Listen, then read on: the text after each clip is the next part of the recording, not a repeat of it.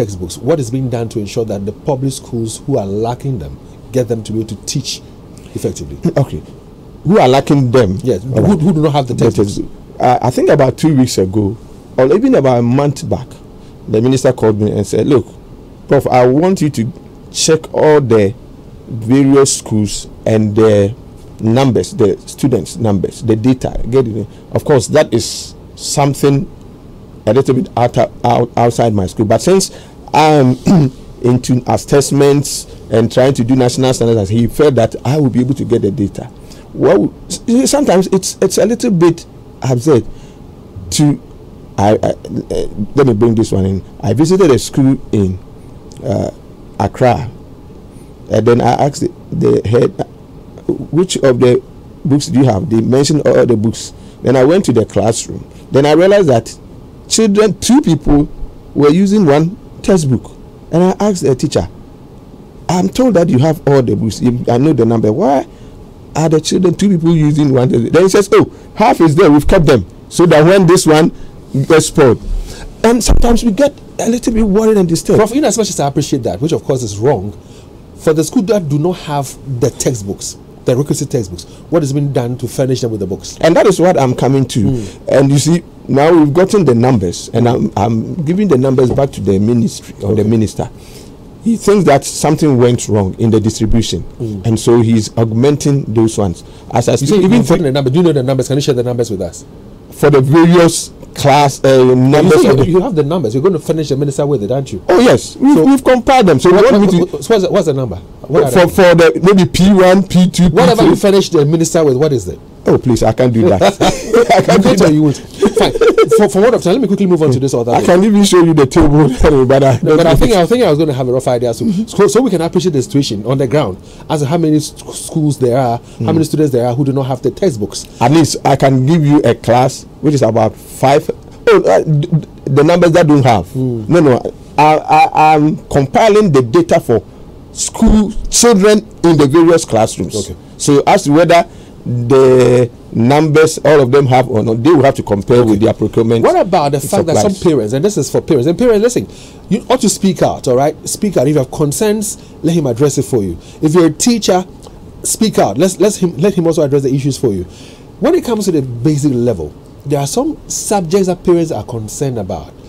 Concern being that it looks as if it's above the level of the children. I don't know whether that's come to your attention. Okay. I have such a concern. I have such a big concern.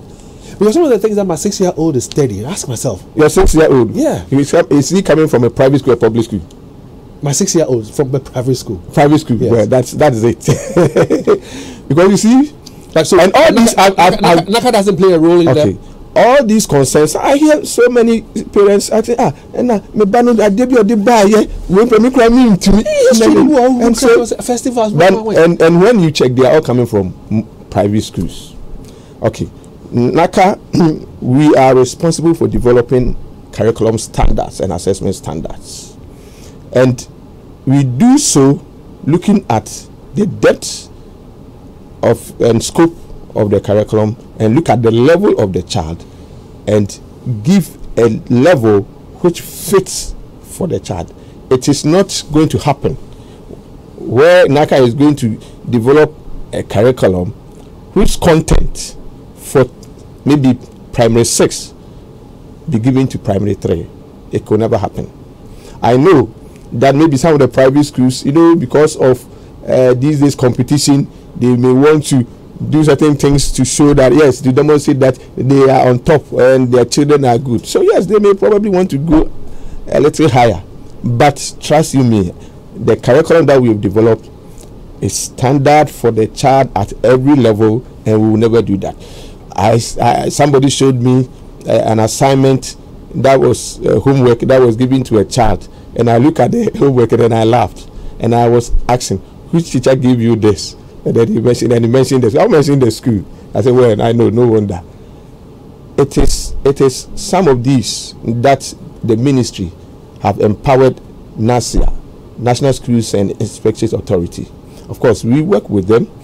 As I speak with you now, we are even training some of their curriculum guys so that when they get to the schools, they will be able to monitor some of these things and know when, what. when is that going to take place? oh, they, they have started. Because if they have started. it's going to kill the interest of They have learning the children. They have started. They have, in fact, this year they did monitoring and uh, compliance. Now they are moving to the second level of monitoring, and that is in school, in class activities, Mm. and that is where all these things will come. They will they will check the homework assignments that are given by teachers to the pupils, and then they will look at the uh, contents of the lesson notes, Mm. and they will give their their comment as to whether they meet the requirements or not. Okay. So Nasia will be doing that. Well, we're live on